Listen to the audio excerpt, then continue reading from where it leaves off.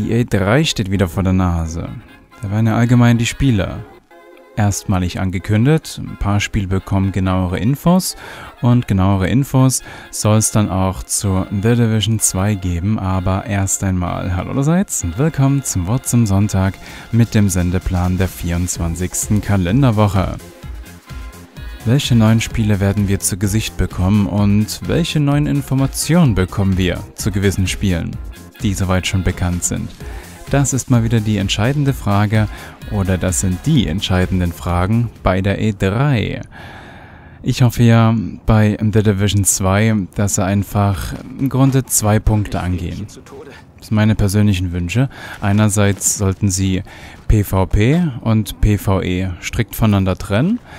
Das war ja ein Problem beim ersten Teil, wenn ich mir die KI so anschaue. Also die Kampagne und den Mehrspielermodus einfach voneinander trennen.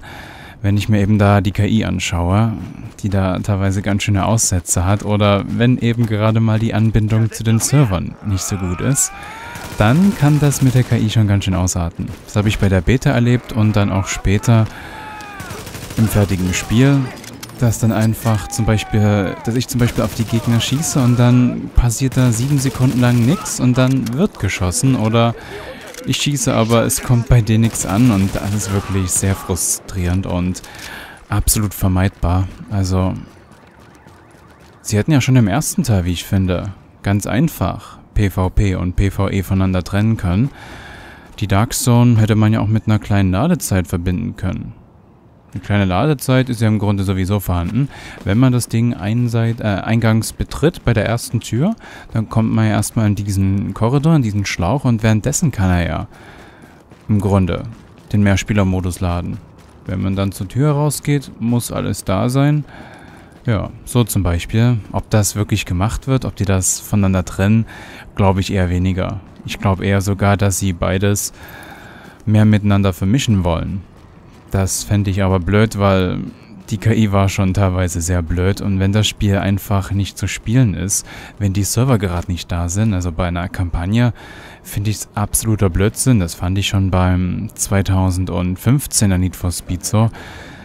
Das ist einfach sehr frustrierend. Du willst das Spiel spielen und die KI geht nicht, weil sie über die Server kommt. Nee, das muss nicht sein. Und andererseits hoffe ich, dass sie bei The Division 2 mehr aus der Stadt rausholen. Also, die war ja wirklich beeindruckend. Das verschneite New York, ob es wieder verschneit wird, weiß man noch nicht. Ich hoffe ja, ja, weil es, wie ich finde, einfach viel zu wenig Städte im Schnee gibt. Aber da bin ich relativ offen. Am liebsten wieder um die Weihnachtszeit im Schnee, aber was sie bitte machen sollten, mehr aus der Stadt herausholen. Das war für mich ein, Knackpunkt. Also die Spielwelt war sehr atmosphärisch, aber man hätte da viel mehr Geschichten erzählen können. Es könnte vielleicht schwierig werden, wenn sie dann wieder den Einzelspieler und den Mehrspieler, also PvE und PvP mehr miteinander vermischen, dass das wieder weniger möglich ist. Aber das sind wirklich zwei Dinge, die ich mir für The Division 2 wünsche. Und da bin ich einfach mal gespannt, was wird jetzt die Tage dann gesagt werden und letztendlich, wie wird das dann im Spiel umgesetzt werden.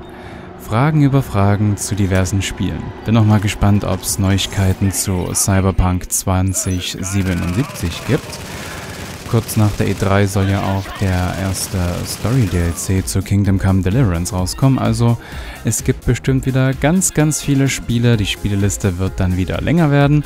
Und ich wünsche euch erst einmal für die nächste Woche wieder viel Spaß und bis zum nächsten Mal. Macht's gut und ciao, tschüss.